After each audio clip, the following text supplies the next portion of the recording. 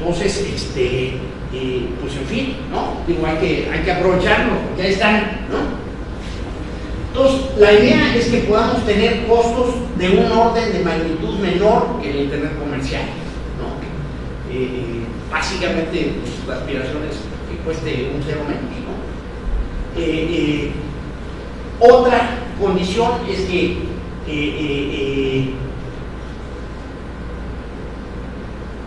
tú pagas, por lo menos aquí en México, tu cuota, ¿no? Pero pues si le metes mucho tráfico no pagas más, ¿no? ¿Me entiendes? En general, con los telmexes en este mundo, mientras más tráfico mandas, pues más pagas. Aquí, de alguna manera, el tema es aprovechar estas economías de escala que están a disposición de todos. Y el otro tema es que es mucho más eficaz la configuración de una red nacional para mandar tráfico. Ya quisiera yo ver, por ejemplo, a Lucas mandando archivos por, por Prodigy, ¿no? ¿Me entiendes? Este, ¿Me entiendes? Vamos a decir, el tema de que todos los paquetes se pueden enrutar, ¿no? Por capa 2 en vez de tener que hacerlo por capa 3 y rutear cada paquete, pues permite que, que puedas mandar esas cantidades de datos, ¿no? Entonces la idea es que se haga un ecosistema que permita que las universidades puedan incorporar las tecnologías mucho más fácilmente, mucho más eficiente. La que sigue, Bueno, CUDI, ¿no? Muchos ya conocen este tema, sigue. Eh, básicamente nosotros ya llevamos casi 20 años de que se creó la asociación civil, eh, eh, vamos, tuvimos mucho apoyo político en la constitución de CUDI, estuvo presente el presidente Cedillo como testigo de honor, todos los rectores universitarios. Vamos, aquí el tema es que eh, eh, nos dieron mucho apoyo, pero no poco dinero, pero por lo menos nos permitió arrancar. La que sigue, porfa. Eh, el tema de red clara, como les digo, los países también consideran que es importante la conectividad global para proyectos de ciencia.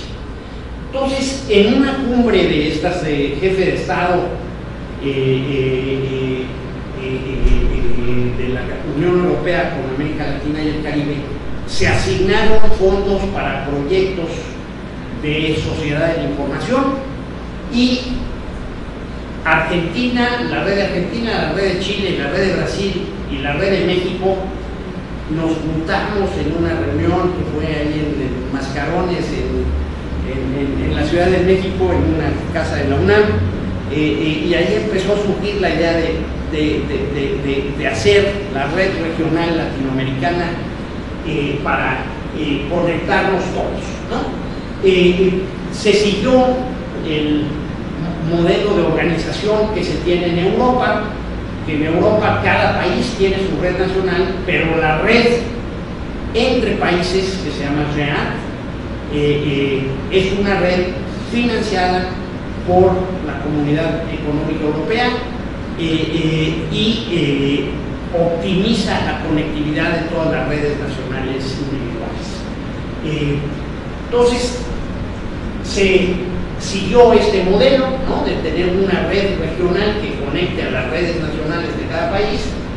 Eh, es una asociación civil sin fines de lucro y básicamente ya llevamos varias rondas de modelo que nos ha permitido ir haciendo una infraestructura de fibra en América del Sur y también, aunque más incipientemente, en América Central.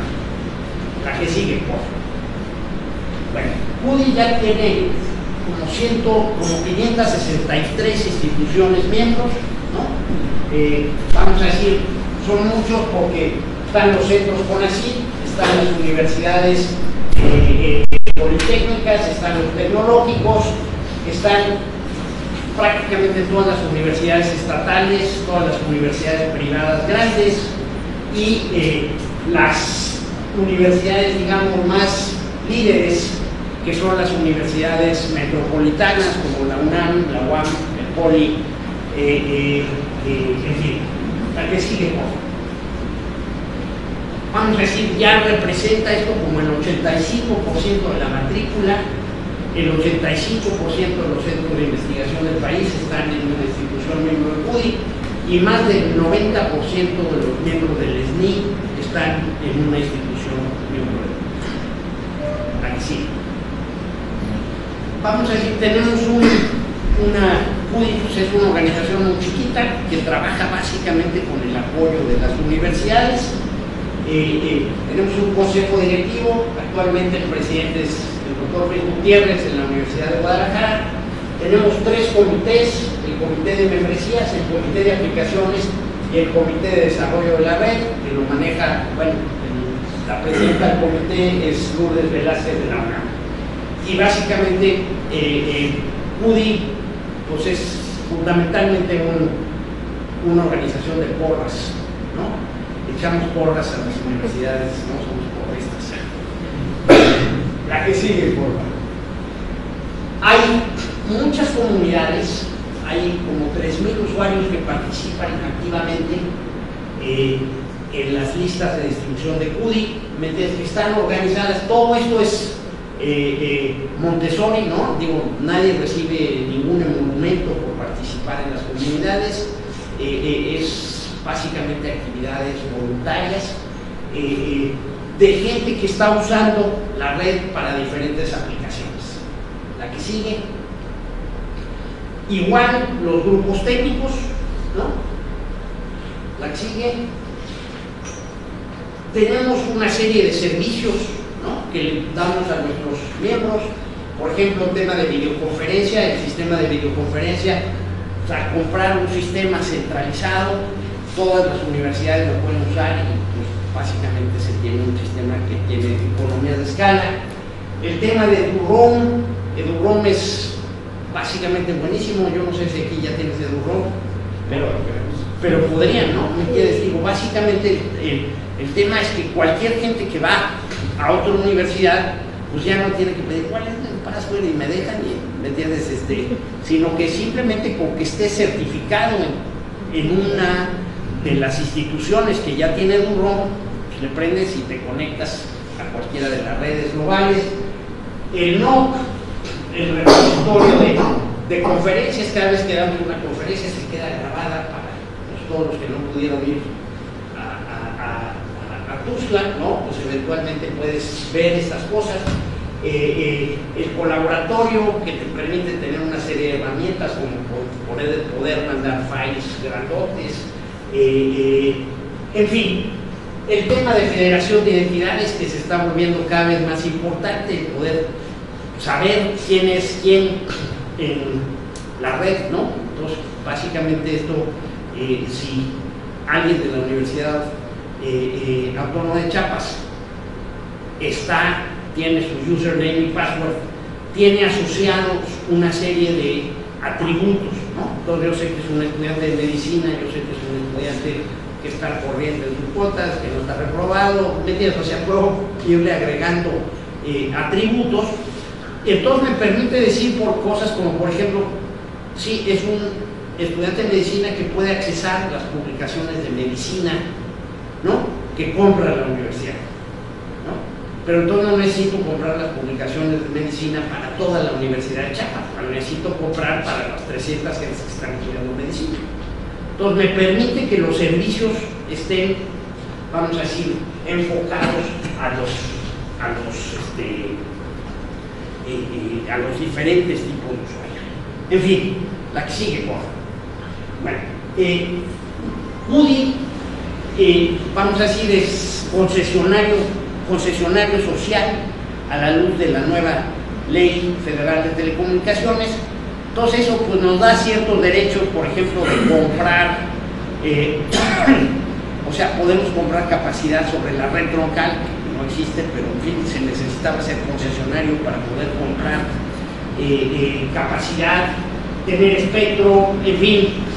Esto no ha funcionado muy bien, pero ya somos esperemos que esto se vaya eh, decantando poco a poco en México, la que sigue. Bueno, el proyecto Vela y Centroamérica, la que sigue. En fin, el último fondeo que se recibió de la Comunidad Económica Europea es un proyecto como de 70 millones de euros. O sea, ya es un grandote. Y la idea es conectar un anillo de fibra entre los países de América del Sur y comprar un hilo para conectar Brasil con Europa sin necesidad de pasar por Estados Unidos. Entonces ahorita todo el tráfico se va por Miami a Nueva York y de Nueva York se va a, Europa.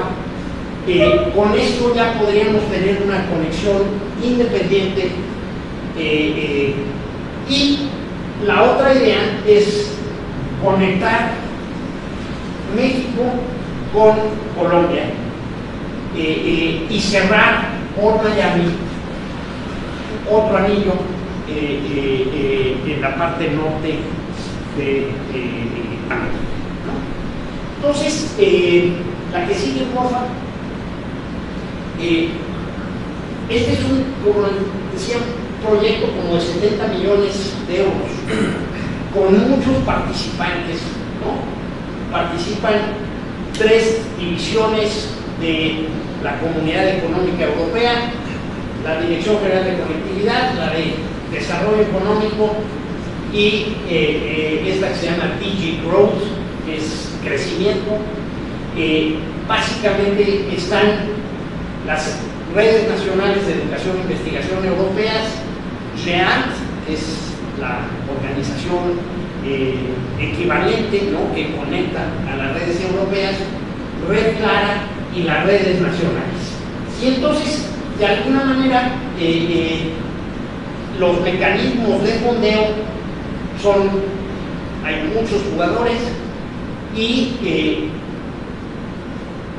lo que estamos adquiriendo es la conectividad transatlántica y la conectividad terrestre. Entonces, la, Vela S es el cable submarino y vela T es el anillo de fibra. La que sigue, por.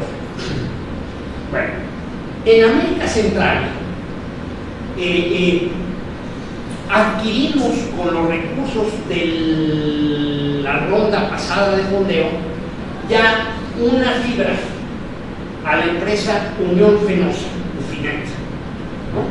eh, que va desde Tapachula hasta Panamá la que sigue. Entonces, básicamente, este, esta es la, la fibra, ¿no?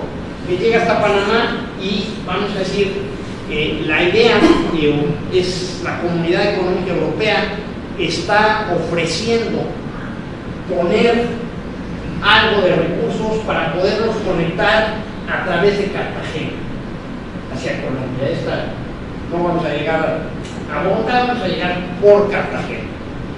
Eh, de alguna manera la, la, fibra eh, eh, pasa por el sur, ¿no? Aquí, como les platicaba yo, llega por Nacaome, no, todavía no llegamos a, a Tegucigalpa. en fin, en Nicaragua sí eh, tenemos ya conectividad Costa Rica eh, eh, y Panamá. Entonces, este, es un hilo de fibra que pues en principio pues, la capacidad de manejo de tráfico es muy grande, ¿no? depende un poco de la óptica y de la electrónica que le vayamos agregando en las puntas. La que sigue. Sí, es el momento de las preguntas. El tema de Cartagena, ¿lo, ven, lo vislumbras en qué periodo de tiempo? Pues yo creo que es muy rápido, porque ya está el cable. Ah, ok. Entonces, no, ¿me entiendes? Tema de la lana, la Comunidad Económica Europea está ofreciendo poner como 2 millones de euros, ¿sí? Y vamos a decir, aquí el tema es que hay que hacer un proyecto, pues, como Vela T, ¿no? Vela Mesoamérica o Digo, vamos a decir, en el que tienen que participar las redes de los países, México la Comunidad Económica Europea y probablemente tengamos que pedir un financiamiento para terminar. Pero yo creo que este es un proceso que, pues me entiendes, ya empieza a tener componentes. Digo, ayer, ¿no? Eh, nos conectamos ya desde aquí a Clara, ¿no? O sea, échale para atrás. Eh, la anterior, ¿me entiendes? O sea, el, mapita, ¿no? O sea, ya de aquí para acá ya, ¿no? Ya estamos sobre esta fibra. O sea, ya podemos llegar a Ciudad de Panamá y de Ciudad de Panamá a Miami. ¿No? Ya, ya eso ya es una, ya es una realidad hoy, ¿no? ¿Me entiendes? Este, aquí, pues bueno, lo que queremos es entusiasmar a El Salvador y entusiasmar a Panamá para que también se organicen y podamos hacerlo. ¿No? Entonces, ¿la que sigue? Una pregunta, ya que Sí. eh, la, la conexión con Tegucigalpa eh, también está en proyecto, está, Sí. está tirada, ¿verdad? ¿no? No, ¿Me entiendes? Ahí, bueno, entendemos que Redca tiene fibra entre Nacaome y, y Tegucigalpa y también San Pedro Sula.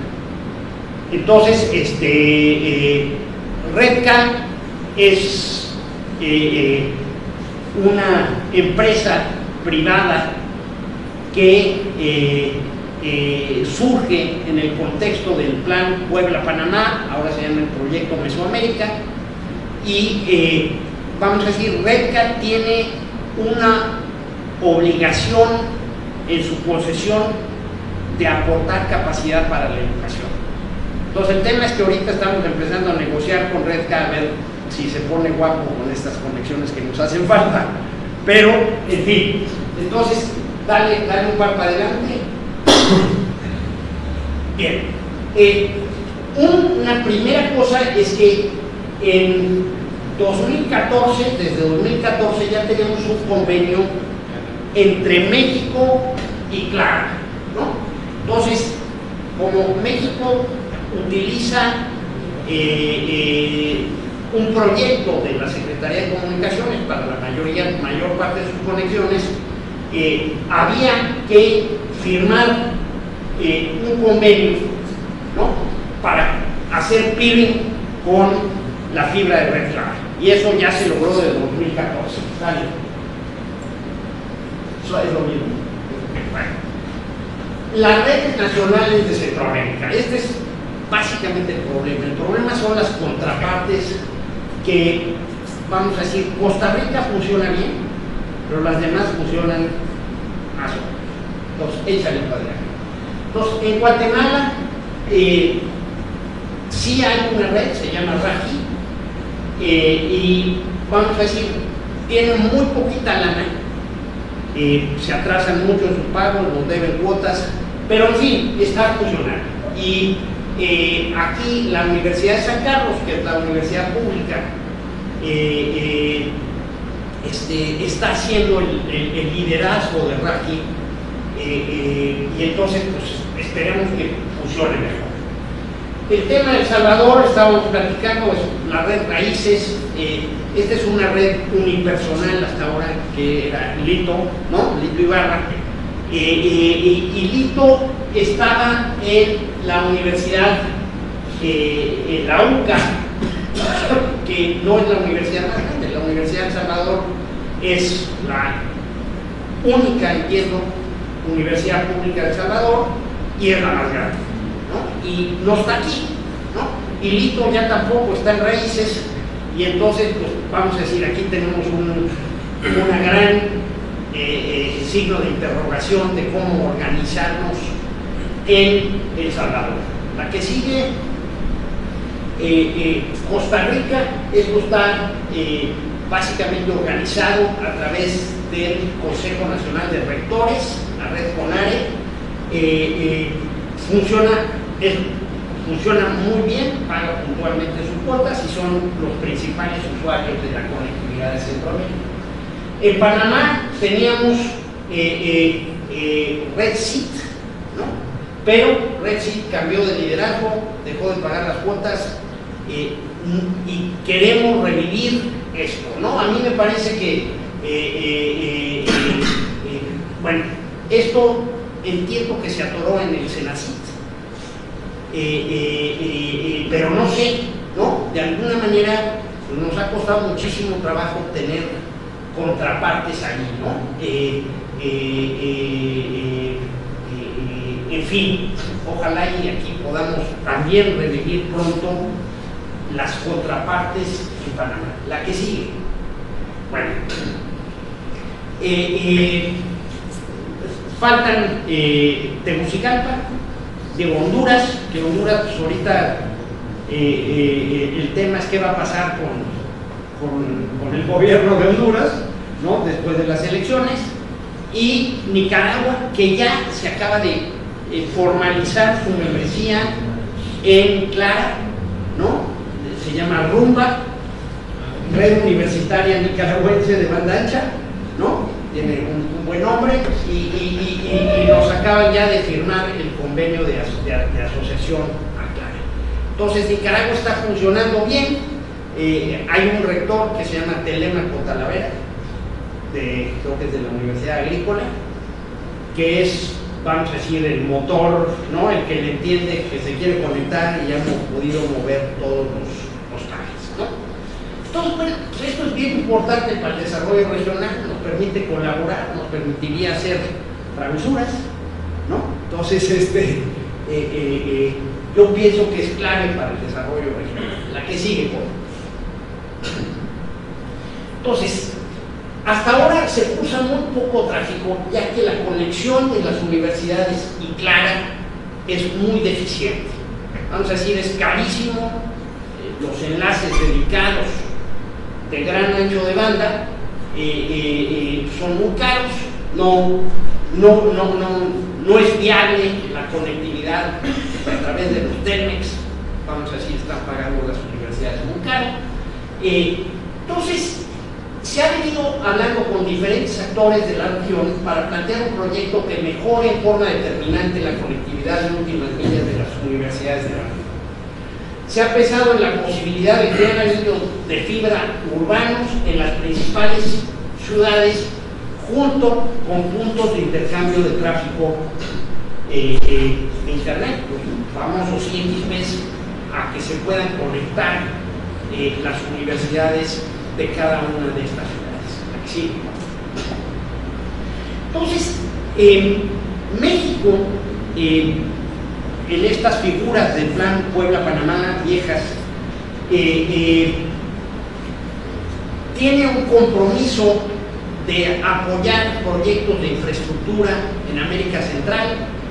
Entonces, nosotros nos hemos acercado con AMEXIF, que es la, Agencia Mexicana para la Cooperación y el Desarrollo, y eh, eh, básicamente a través del, proyecto Mesoamérica eh, se nos ha, bueno, los hemos convencido de que un gran proyecto de infraestructura es la creación de anillos en las ciudades de Centroamérica, la que sigue. Bien. Entonces, Básicamente el proyecto Mesoamérica hablaba de las redes nacionales de educación, ¿no? El BIF ya ha hecho algunos aportes en Centroamérica, la que sigue, por favor. Y entonces la idea es el tema de eh, los anillos de fibra en las ciudades. Y entonces, eh, eh, vamos a decir, aquí tengo el, anillo de Guatemala, ¿no? Entonces, pues hay básicamente como 14 universidades eh, que están ubicadas en los Google Maps, ¿no? La que sigue. y la idea pues es conectarlas todas estas con fibra, ¿no? La que sigue eh, son 12 instituciones, 50 kilómetros. Básicamente eh, nos han dicho nuestros amigos de Raje que probablemente se pudiera construir como por 5 mil dólares el kilómetro. Entonces el costo del anillo de los 50 kilómetros son 250 mil dólares. Eh, básicamente esto correspondería a cada institución 20 mil dólares por un par de fibra, ¿no? Y un equipamiento pues, que se requiere un roteador de suficiente galleta en cada institución, eh, eh, aproximadamente 25 mil dólares por institución. La que sigue. Entonces, básicamente, Amexi nos ha ofrecido y se comprometió en una reunión de CESUCA que tuvo lugar en CESUCA, es el Consejo Superior Universitario de Centroamérica, eh, eh, se comprometió a financiar estos anillos en Centroamérica.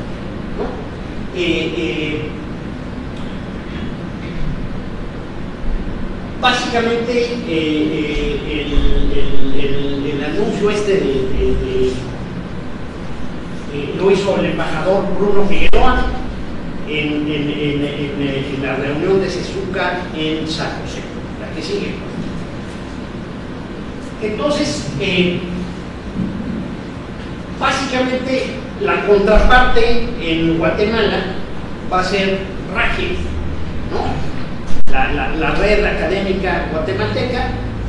Eh, donde la Universidad de San Carlos, que es la universidad pública, es la más grande, pues va a ser, digamos, el liderazgo importante de esto. La que sigue. Eh, entonces, la justificación y los números, ¿no? Se estima que las universidades guatemaltecas pagan actualmente unos 50 dólares mensuales por cada megabit por segundo de consumo. Esto quiere decir que están pagando por 100 megabits 60 mil dólares eh, eh, anuales. Y se calcula que cada universidad conectada a red clara podría tener anchos de banda de 500 megabits, no de 100, ¿no? Eh, por un costo de 2.578 dólares mensuales. una vez que se considere el apoyo de los 350 mil dólares que pondría Amexil para el eh, anillo de Guatemala, la que sigue. Entonces, eh, vamos a decir, hay ciertos costos de mantenimiento que lo que se espera es que la propia red guatemalteca sea la que asuma el costo de mantenimiento del anillo eh, y vamos a decir que pueda comprar internet comercial a razón de 3 dólares mensuales por megabit. Entonces, eh, eh, los costos anuales por universidad básicamente serían el mantenimiento de red clara, el mantenimiento del anillo, el mantenimiento de los equipos y el internet comercial.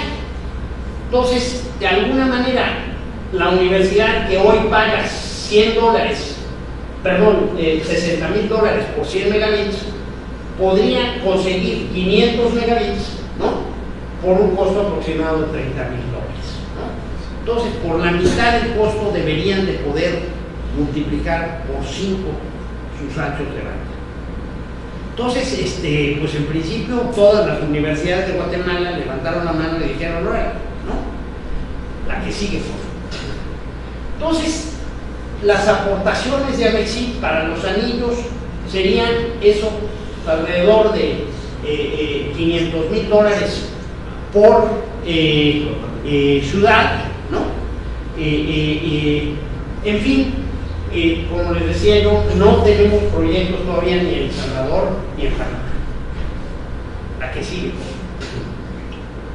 Entonces, bueno, en lo que hemos venido trabajando es en el fortalecimiento de las redes, eh, en hacer la ingeniería de detalle de los anillos. Eh, vamos a decir, en principio, esto también es una tarea de la ingeniería de detalle, la tienen que hacer las universidades locales, ¿no? La, red local. Eh, y el mecanismo de financiamiento con Amexil es a través de una cosa que se llama el Fondo Yucatán. El Fondo Yucatán es un fideicomiso que se crea con los recursos del petróleo que México le vende a Centroamérica Y para poder tener acceso a los recursos del Fondo Yucatán, los países tienen que pedir este financiamiento a un proyecto determinado.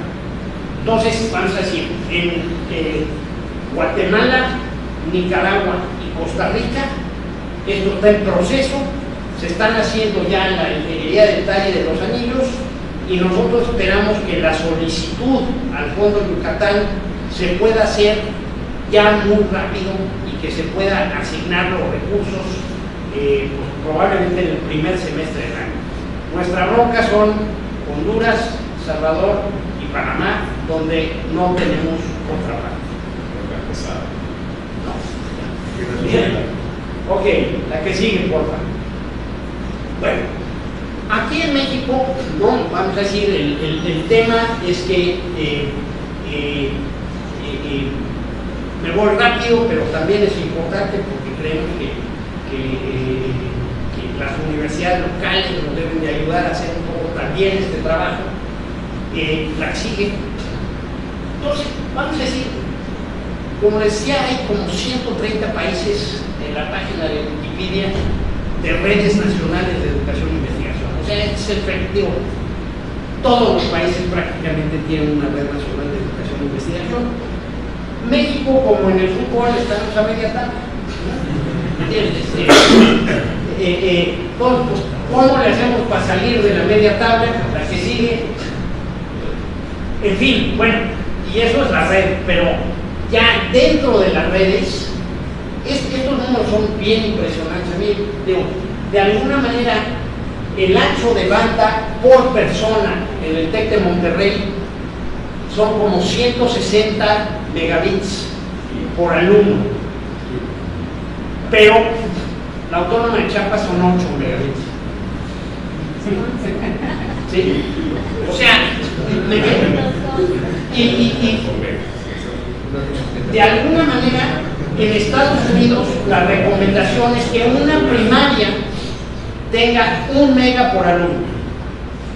O sea, el TEC de que probablemente es la universidad más rica y, en fin, ¿no? privada, ¿no? Está a una quinta parte de lo que debe estar una primaria gringa. O sea, es una tragedia griega esto, ¿no? en términos de, los anchos de banda que deberíamos estar manejando por, campus. ¿no? La que sigue. La pregunta ahí son kilos o megas el ancho de banda por persona. Kilos. Kilos, O sea, meter está a punto 16 megas, ¿no? Carlos, ayer le hacían bullying a. Hoy haciendo. Pero, ¿sabes? Creo que me falta la Universidad de Ciudad Juárez, ¿no? Que con sus 10 gigabits o CICS. Pues, ¿me entiendes? Este, eh, CICS, CICS son 200, ¿no? ¿Me entiendes? Y sí tiene un enlace de 10 gigas, hace investigación, ¿no? Este. La Lucas con 3. No, pero, pero, pero Lucas está, está mal, ¿no? ¿Me entiendes?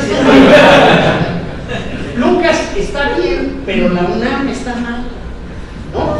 La UNAM debería de tener 30 gigas en CEU, porque son 300 mil estudiantes. ¿no? Y a lo mejor tiene, no sé, ¿no? 10. ¿Eh? 10 a 20. Sí. Son dos salidas de... Sí. Pues ya estamos mejorando porque eh, también en el IXP de la Ciudad de México eh, eh, ya la UNAM, yo espero que para la semana que entra tenga 20 gigas nuevos, ¿no? Ya ayer estaban pasando 9, ¿no? Entonces, este, digo, se va a mejorar, digo, pues esa es la idea, ¿no? Que se mejore y que la UNAM, pues digo, de alguna manera tiene que ser el, principal motor de la economía de escala, ¿no? Entonces, cuando entra la UNAM, todos los demás quieren, ¿no? Entonces, este, entonces eh, eh, eh, esa, esa, sería la idea. Bien, entonces, el, el, la que sigue, porfa.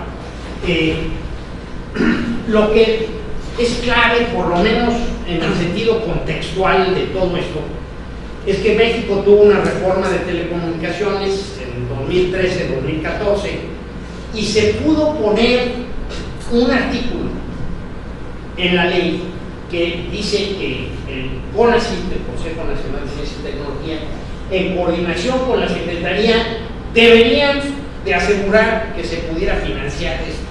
¿no? O sea, vamos a decir, establecerá los mecanismos administrativos y técnicos necesarios y otorgará el apoyo financiero y técnico que requieren las instituciones públicas de educación superior para la interconexión entre sus redes con la capacidad suficiente, formando una red nacional de educación e investigación, así como la interconexión entre dicha red nacional y las redes internacionales especializadas en el ámbito Entonces, básicamente ya hay una obligación legal, ¿no?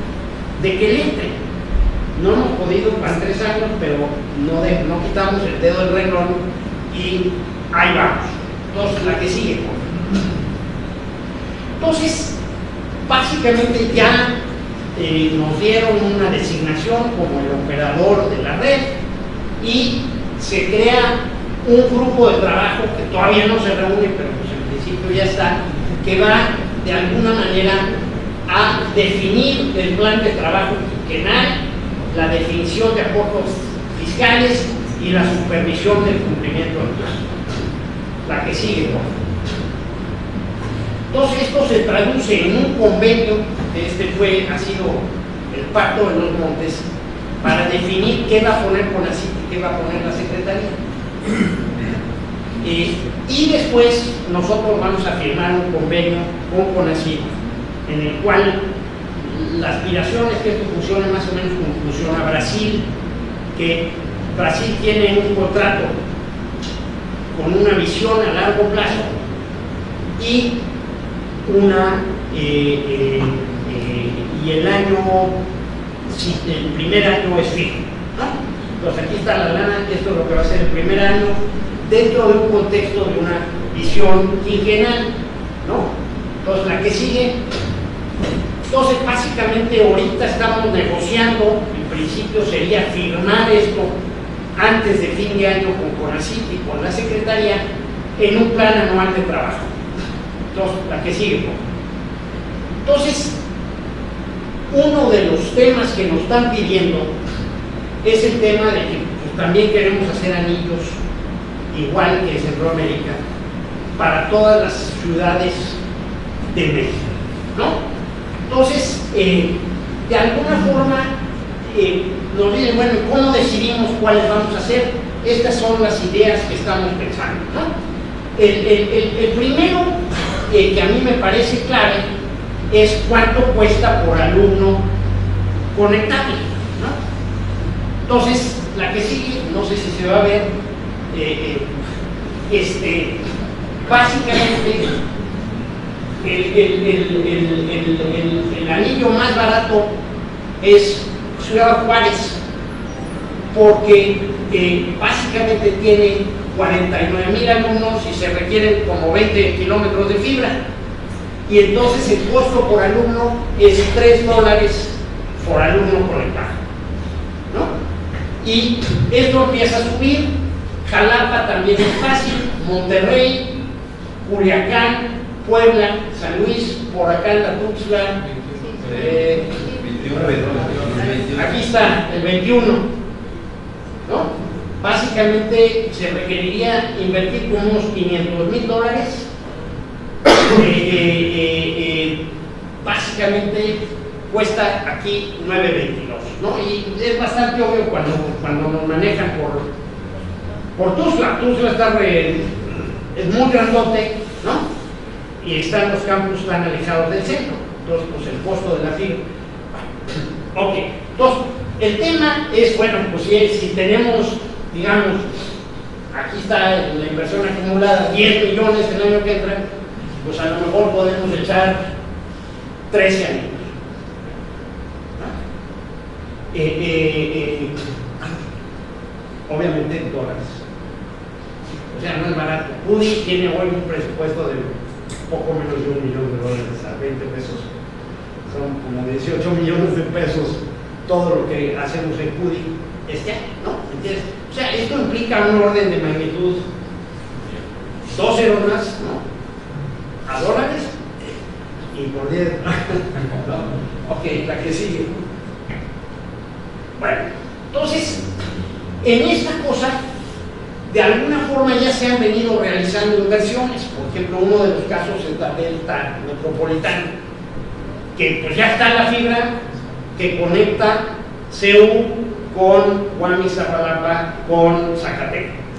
¿no? Entonces, pues vamos a decir, pues ahí ya nos ahorramos la mitad de lo que quisiéramos, ¿no? Eh, a lo mejor hay que seguir metiendo más, ¿no? Otro tema es la disponibilidad presupuestal.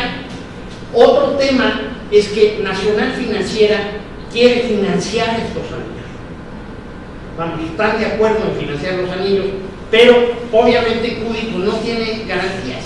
Entonces, necesitamos montar una garantía de CONACYT. Lo que están hablando es que CONACYT ponga un fondo de garantía y que las universidades firmen contratos para adquirir su hilo, su par. Este, el tema de compromisos de las universidades locales y el tema de los derechos de vía, que esto pues también en El Salvador o Panamá va a ser un, un, un tema, ¿no? El tema es que eh, eh, eh, las universidades nos ayuden a conseguir los derechos de vía, ¿no? Y que podamos negociar con los municipios, con los gobiernos municipales, la posibilidad de meter la. La que sigue, pues. Bueno, una de las cosas que nos está pidiendo, y aquí le voy a pedir a Jorge y a Marino que nos ayude, nos está pidiendo la, la, la, la que si podemos hacer estudios de casos de los anillos, ¿no?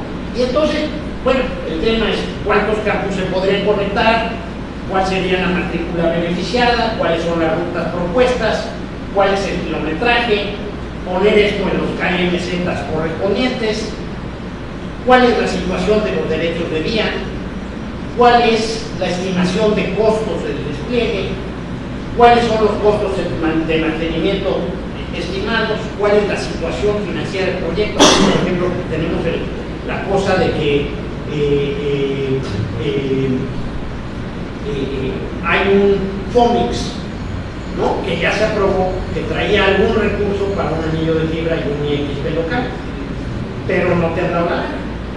No, porque sí, el tema viene con el tema del IXP. Estamos sí. hablando del anillo de fibra intentando ver de qué manera lo complementamos. No, pues vamos a decir, el tema sería que lo describieran cuál es la situación del proyecto, cuál es la oferta de liderazgo por parte de la universidad, ¿no? Vamos a decir, aquí es clave que, pues, que la universidad estatal diga así, yo me encargo de que ¿no?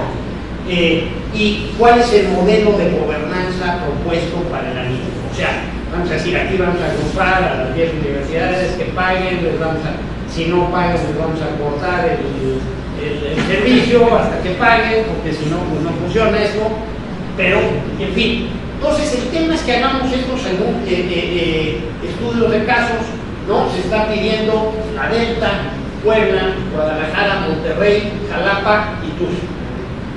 ¿No? Entonces ojalá y nos lo pudieran responder esto rapidísimo. No es tan rápido, pero sí rápido, antes de que Sí. año. Sí, sí, sí, seguro. Bueno, la que sí, sí. Esta, este, esta lista es más o menos lo que también, por ejemplo, para Guatemala Así es. que lo que presentaste anteriormente. Sí. ¿no?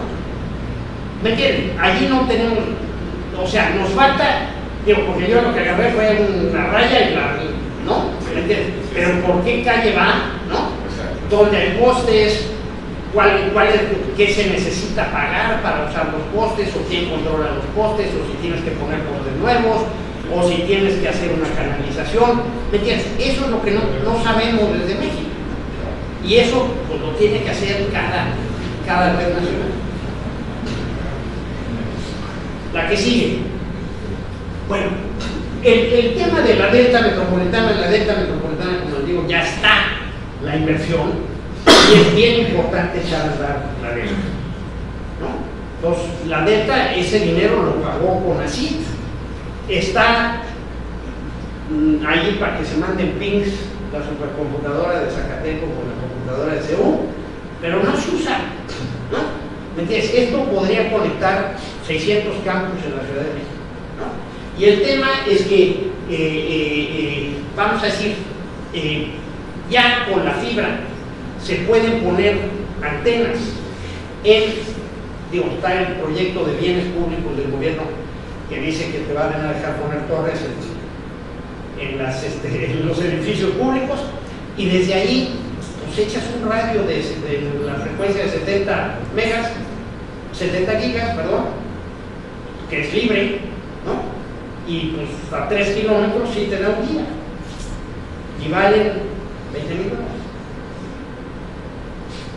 ¿No? Entonces, yo creo que este proyecto sí hay que hacerlo y es de las cosas que sí vamos a poder hacer este diseño y me parece que es buenísimo. La que sigue, por favor.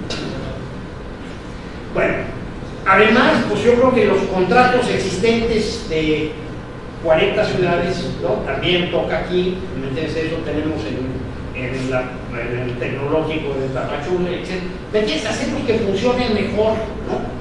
Eh, eh, vamos a decir, aquí esto estamos pagando como 150 millones de pesos por, esa, por esos, por esos este, enlaces, ¿no? Y, y, pues realmente pasa muy poco tráfico, ¿no? Entonces yo creo que lo que hay que hacer, échame la que sigue, ¿me entiendes? Es que, eh, vamos, las universidades federales, yo no sé, digo, prácticamente, no, yo, yo porque quiero eso, yo no quiero enlace en capa 3 y me causan muchos problemas y me tiran la red. Eso ha sido, no sé si. Después, los centros de investigación tienen estos enlaces, pero tampoco los usan. Básicamente, eh, eh, los centros de investigación le pagan a Telex. Oye, los centros con la pagan como 200 millones de. Unas cantidades absurdas. Eh, el sector salud tampoco usa los enlaces eh, tecnológicos, cultura, eh, prepas. Entonces, en principio, se podrían cancelar los enlaces que no se usan, que no tienen que ver con educación e investigación y que tienen alternativas de conectividad.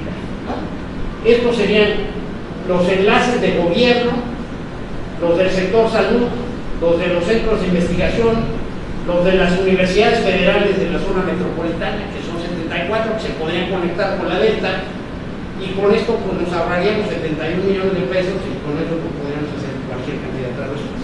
¿no? La que sigue, por. También los enlaces de fondo de conectividad universitaria, ¿no? Ustedes aquí en Chiapas tienen dos, ¿no? Que funcionan más o menos, lo deberíamos ya de hacer funcionar mucho La que sigue, eh, bueno, después, pues yo creo que lo que tenemos que hacer, trabajar conjuntamente, es en conseguir el financiamiento Nacional Financiera para los anillos. A mí me parece que, de alguna manera se debería establecer un fondo de garantía, que en principio aportaría con así, un contrato con las universidades beneficiadas, ¿no? Eh, eh, para asegurar eh, la recuperación del capital invertido y el mantenimiento y un compromiso de las entidades centralizadoras de facilitar que esto se haga, pues, vamos a decir, fácil y no difícil, ¿no? O sea, que, de alguna manera la Subsecretaría de Educación Superior esté consciente que esto va a formar parte del presupuesto de las universidades y que pues ojalá ahí se pudieran canalizar los recursos adecuados. Sí. Eh, recientemente y yo tuvimos la oportunidad de asistir a la red mexicana de supercómputo, allá en CICES, en el Senado, y vino a visitarnos a cerrar la sesión una diputada que tiene que Lo hizo. Así es. Y nos decía, bueno, los presupuestos se ven muy complicados para el próximo año, y la respuesta básica fue, pues no tenemos conectividad para buscar estas computadoras, como comprar un celular sin línea, pero lo que sí nos pueden ayudar y que de alguna manera me gustaría portar el mensaje a través de alguien hacia esta reunión que van a tener de Supercómputo en la Cámara de Diputados, es decir, pues si no pueden darnos el dinero, denos las garantías. ¿Ya? Denos las garantías y ábranos la llave para que sucedan esos pagos. No, y digo, Nacional Financiera tiene la lana y puede. Y eso no pega en recursos fiscales. Se puede hacer. Yo, yo estoy convencido que. Pero me entiendes, digo, vamos con así, se tiene que caer el 20, ahora ya medio le cae el 20. ¿Me entiendes? Este, y, ya los juntamos. Y, Nacional Financiera le dijo, sí, ustedes me tienen que poner, si vamos a poner 50 millones de dólares, ustedes tienen que poner 5 en un fondo garantía que ni siquiera es recursos fiscales otra vez, es la cuenta de bancos, ¿no? Hay que poner 5 millones de la cuenta de bancos ahí. Para cubrir que si un anillo no pagaron los osos de la Universidad de Chiapas, entonces este, de ahí agarramos. Bueno, ok, la que sigue. Y, bueno, entonces, bueno, si nos dicen que, que hagamos cinco anillos, bueno, pues vamos a tener que hacer cinco anillos este año, ¿no? ¿Me entiendes? Obviamente no lo va a hacer CUDI, tenemos que contratar este, con eh, constructores decentes, caray, ¿no? ¿Me entiendes? Sí hay, ¿no? Pero, ¿me entiendes? Que le sepan, que lo hagan bien, que no busquen matar viejo en viernes, ¿no? Y, y sí hay, ¿no? Digo, Telmex tiene 20 gentes que hacen tendidos de fibra, ¿no? Este, pues hay conseguir, ¿no? Pero obviamente son locales. Ustedes tienen que saber quién es un buen constructor aquí, ¿no? Y obviamente les vamos a fijar los costos, ¿no? Sí, espérate, oye, si en Veracruz costó 7.300 dólares el kilómetro, ¿por qué en Tapachula cuesta 12.000? No, no, o sea, vamos a poder tener, generar una, una base de datos para saber cuánto cuesta, que primeramente, y a quién se la compran. O sea, vamos a tener información para poder hacer esto bien y que nadie se robe la lana. ¿Tienen ya algún banco de información, por ejemplo, para los puntos que solicitaste, que diga que la fibra deseable es tal, o el tipo de anclaje es tal, o... Bueno, sí, de, de alguna manera, por ejemplo, tenemos eh, toda la especificación técnica de Brasil, que Brasil ha venido haciendo esto desde hace 10 años. ¿no?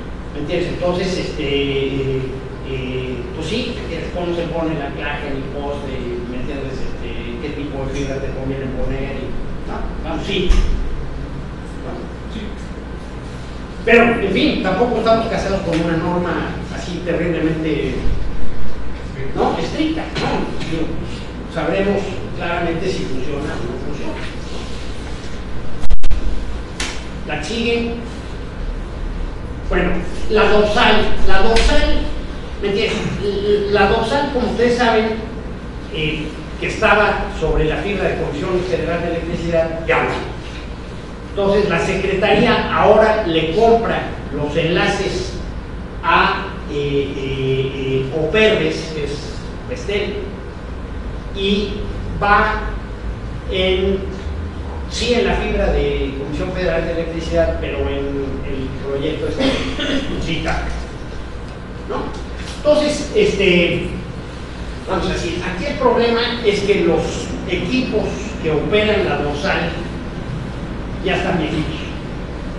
Son los, son los Cisco que están en el hotel, ¿no? ¿Me entiendes? Este, ya están en dos años, ¿no? Entonces va a haber que ir reemplazando esos, esos bloqueadores, ¿no? Eh, eh, la que sigue, por favor. Sí, no la traigo, pero eh, eh, vamos, aquí el tema es que estos enlaces eh, no, vuelven para atrás, no sé, creo que volvieron a que, este, el tema es que Bestel ya tiene precios de estos enlaces, ¿no? Entonces, digamos que queremos subir Tapachula, eh, Tuxtla, porque ahorita tenemos un giga, queremos tener tres, ¿no? ¿Me entiendes? Entonces, pues ya sabemos cuánto cuesta. ¿no? Ya sabemos que por 300 mil pesos al mes podemos subir. Y el problema o el tema es que la mayoría de estos enlaces están vacíos. Hoy están vacíos. Usan muy poco tráfico. ¿no? Entonces hay que rehacer la ingeniería de los enlaces. Y yo creo que se puede hacer muchísimo mejor trabajo sin gastar un peso más. Eso incluye esas rentas, perdón, que están pagadas, o perdón, que se, los tabuladores que están por, por crecer, por pagarse. ¿Vienen con equipamiento o nada más la pura fibra óptica? No, ya está regulado. ¿No? ¿Me entiendes? Este, pues yo creo que esto sí se pasa. La que sigue, eh, bueno, la conectividad internacional ya desde este año la paga CONACYT, ¿no? Son como 7 millones de pesos, ¿me entiendes esto? Obviamente no, no queremos pagar más si no tenemos una dorsal para llegar por más ancho de banda. Pero obviamente la salida eh, a Ciudad Juárez, pues es un enlace que es un cuello de botella. Esa debería estar probablemente ya a nivel de unos 100 En fin, la que sigue, eh, bueno, finalmente en el convenio que nos dieron, eh, nosotros tenemos que la instancia operadora contará con un centro de operaciones de red, la instancia operadora deberá incluir en su plan de trabajo el diseño técnico, todos los elementos técnicos, los recursos humanos, material tecnológico que requieren para realizar adecuadamente el monitoreo de todo esto. Entonces, la que sigue, ya con el término, pues me entiendes, este, de alguna manera son como 1500 elementos que tenemos que monitorear. Y entonces, pues hay que tener pues, el software y los Y pues en principio dicen que sí nos van a dar la lana para empezar a hacer eso. Entonces, este, pues ese es un poco el plan. Eh, yo creo que es un buen momento, yo creo que hay que tener el diálogo prendido y empezar a levantar la mano y a gestionar, ¿no? ¿Me entiendes? Este, eh, eh, para que pues, en la región tengamos todo lo que se puede, porque ya se gasta, ¿no? ¿Me entiendes? Este, también frase de Loisa, ¿no? Dice, el problema es que sí hay dinero, el problema es que está mal acomodado. Entonces, lo que tenemos que hacer es acomodar bien la lana que estamos gastando, por lo menos. ¿no? Aunque yo estoy seguro, digo, si queremos hacer esto bien, hay que subirle varios ceros, ¿no? Varios ceros al gasto y varios ceros a, a los años de banda, etc. Tengo una pregunta adicional, experiencia de la universidad. De la una modelo. No, no, de la UNACH. Sí. Cuando tú te subes a la red, estás en la red y de alguna manera ves el internet. Pero los alumnos están en la red de la persona de, de Telmex, básicamente, o Metrocable, básicamente. ¿no? Nuestros alumnos quieren ver los servidores de la universidad, nosotros estamos montados con nuestro enlace principal, podría estar montado en este tipo de redes. ¿Qué pasa con los temas de interconexión tráfico que cruza entre estas redes? Sobre todo el tema de los pagos de simetría y todo esto. ¿Es, otro, es otra condicional adicional a incluir este esquema? ¿O ya está algún acuerdo, algún convenio que esas redes privadas, que es Metrocable, etcétera, interconecten a través de puntos estables como el INSP o de una entidad federal y esas cuotas sean cero? Porque ahorita está cambiando la legislación muy fuertemente hacia el lado de ellos, ¿no? hacia el lado de los privados. Sí, claro, ¿no? ¿Me entiendes? Digo, vamos, este, con Telmex no te va a hacer nada gratis, ¿no? ¿Me entiendes? Este, No, no, claro, pero él les está cobrando a los alumnos por conectarse a nosotros. sí, sí. Y el tema viene de nosotros hacia ellos. No, por eso yo lo que digo es que tú tienes que, digo, ¿me entiendes? El- el- esto es bien chispa, ¿no? O sea, digo, aquí yo estoy seguro que todas las universidades vienen con un bichejo y todos pagan. O sea, ¿me entiendes? Digo, el, el tema, digo, lo veíamos en San Cristóbal, ¿no? ¿Me entiendes? Este, eh, eh, los niños sí pagan internet, es parte de su vida. ¿No? Estoy seguro que muchos pagan el internet en vez de la torta. ¿No? Ya es, es una cosa absolutamente. ¿No? Y, y yo sí creo que las universidades les tienen que dar un internet que funcione en todo lado. ¿No? ¿Me entiendes? Este. eh, eh, eh, no lo sé. ¿no? Pero la universidad va a tener que darle dinero para No, no, no, no estoy diciendo eso. Ah. Yo, yo lo único que digo es, hay que meterle a las redes de campus hay que meterle en serio. ¿Me entiendes? Y, y, vamos a decir, yo lo que sí creo es que el Internet básico, o sea, el Internet que llegue a través de la Red Nacional de Educación e Investigación, hay que hacer bien ingeniería, pero, ¿me entiendes? En principio es Internet comercial, es Facebook, es lo que quieras, ¿no?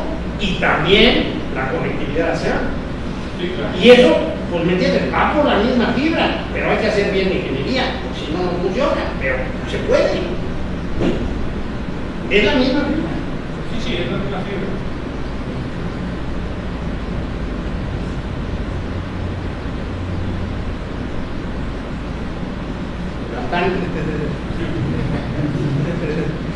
Bueno, todas sus órdenes, ya saben que yo soy socio para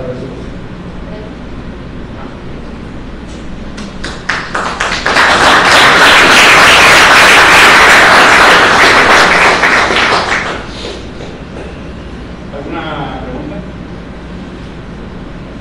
Por favor. Eh, gracias.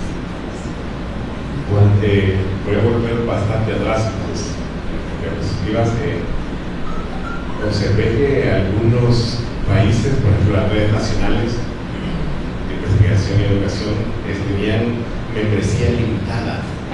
Solo para hacerme una idea, ¿qué significa eso y de qué, qué- cuánta cantidad estamos hablando? ¿De qué cantidad estamos hablando? Mira, eh, eh, Nicaragua eh, creo que va a pagar algo así como 20 mil dólares al año. No, yo creo que todos ustedes deberían de pagar por ahí. limitada. Solo porque si deja de pagar ya no. ¿O a qué se- Bueno, ¿me entiendes? No, yo creo que ese término de limitada yo no lo había visto hace mucho tiempo, lo voy a pedir que, lo- que lo revisen. Ok. Pero, pero, ¿me entiendes? Este, eh, eh, eh, pues la idea es que se suban. ¿Me entiendes? Aquí, Queremos ayudar, ¿no? El, tema es, es esto, bueno, en mi caso personal es una convicción que llevo 20 años de decir, oye, si, educamos vamos a ser mejores países, ¿no? Y, no vamos a poder educar si no tenemos conectividad. Digo, bueno, ¿me entiendes? Vamos a educar pues, para el siglo pasado, pero no para este. Entonces, digo, esto lo hacemos, digo, todo lo hacemos con ganas de ayudar, ¿no? ¿Me entiendes? Por convicción, ¿no? Por hacer patria, por hacer, por hacer una mejor comunidad humana, ¿no? ¿Me entiendes? Este, entonces digo, bueno, vamos, este, lo que queremos es que se suban, ¿no? ¿Me entiendes? Y si no paga Guatemala, pues no lo hemos cortado, ¿no? ¿Me entiendes? El tema es, bueno, creo que es indispensable que eventualmente la gente pague, ¿no? ¿Me entiendes? Pero bueno, ¿me entiendes? Si alguien no puede pagar porque cambió el presidente, bueno, pues esperamos, ¿no? ¿Me entiendes? Este. Y sabemos que eso pasa.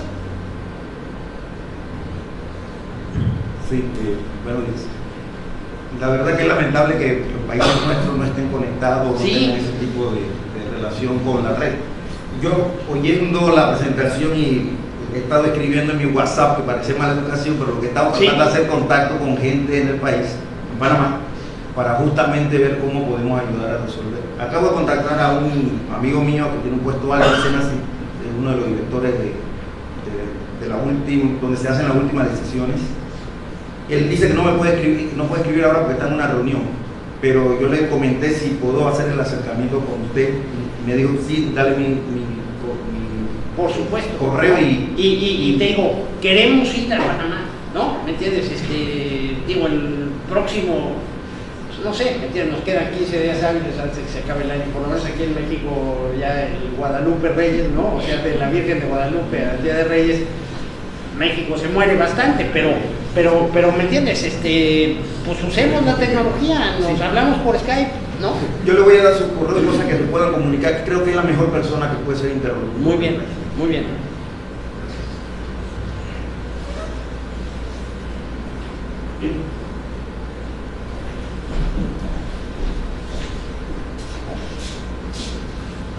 Buenos días. Eh, yo tengo una pregunta. Eh, eh, yo vengo aquí de una ciudad cercana, se llama San Cristóbal de las Casas.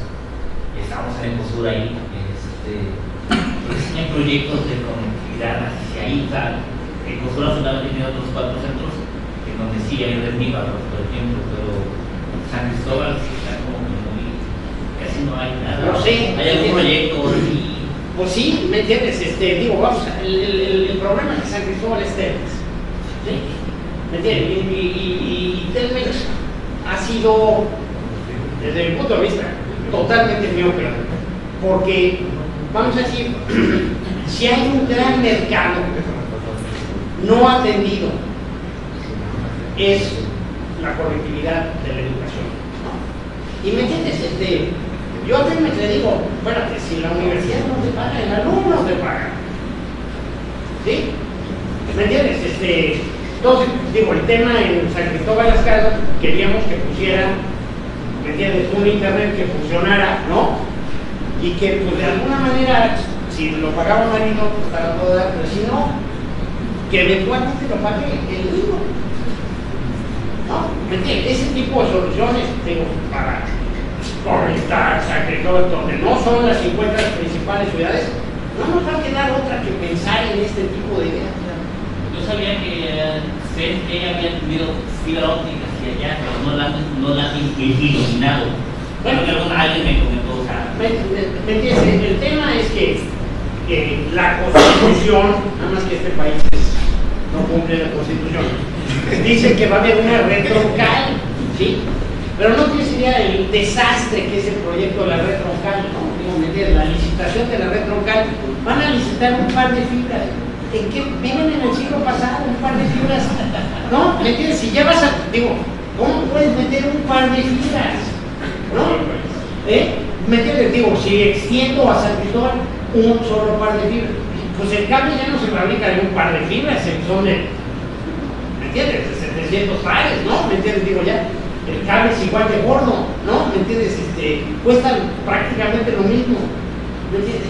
Están fatales el proyecto de la red desgraciadamente, y nadie oye, digo, yo espero que no lo hagan ese que alguien que lo haga, que no se quiera robar todo, este, sea que haga el proyecto de la red local.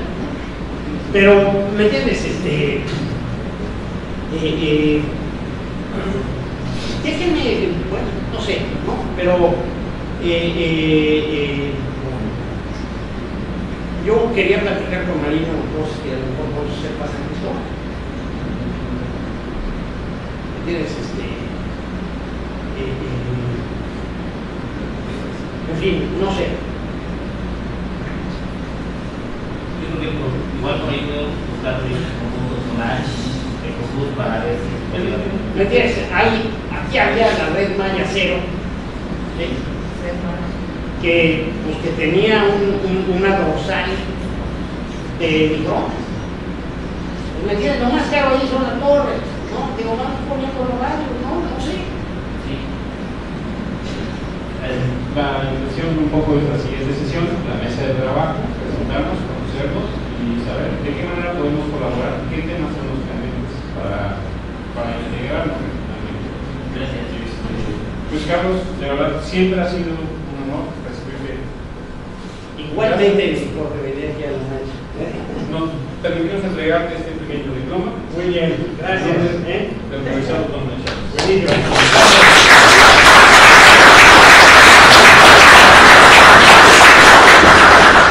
Vamos a hacer una modificación al programa. Ya los Creo que- atrasé. No, no, no. Creo que podemos salir a tomar el break y en 15 minutos volvemos para establecer ya nuestra primera sesión de trabajo.